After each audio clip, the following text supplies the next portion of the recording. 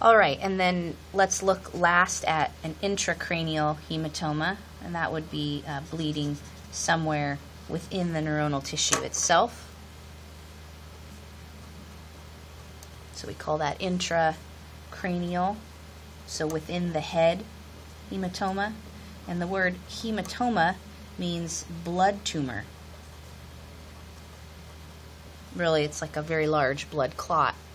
So sometimes if someone's been in a car accident and they need to do surgery immediately, it's to remove a clot, um, either a subdural hematoma. If it's an epidural hematoma, and they might need to actually try and stop the bleeding too, um, and remove that pressure from the brain. Okay, and then I, I wanted to also just uh, go over the spinal cord meninges just for a second make, make sure you have this in your notes. So the spinal cord has the same meninges as the brain. Uh, however, it has a natural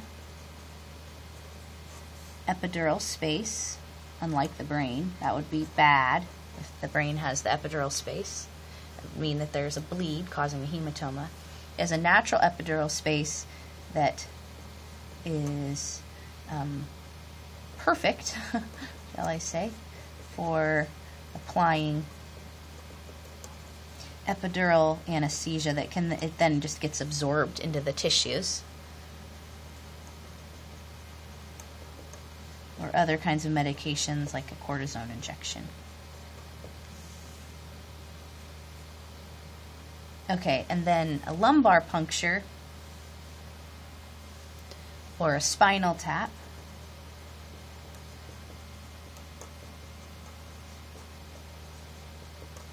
You can hear, and I'm not talking about the band, it's a great movie, isn't it? Spinal Tap. Lumbar gives you an idea how low they're doing this. The spinal cord ends at L, L1 or L2, and below so let's if we look over here, let's say this is the bottom of the spinal cord. Well, the meninges continue on after that. So let's see if we can do that. Got the green would be the pia mater. And then, um, let's see, I used orange, right, for arachnoid mater.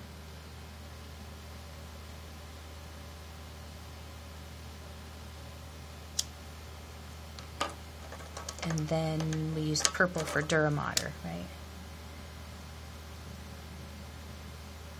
So this is the bottom of the spinal cord. Let's say L2 of spinal cord, so then it ends. And use yellow to show that there would be CSF in here, right? So in a lumbar puncture, they go in right here.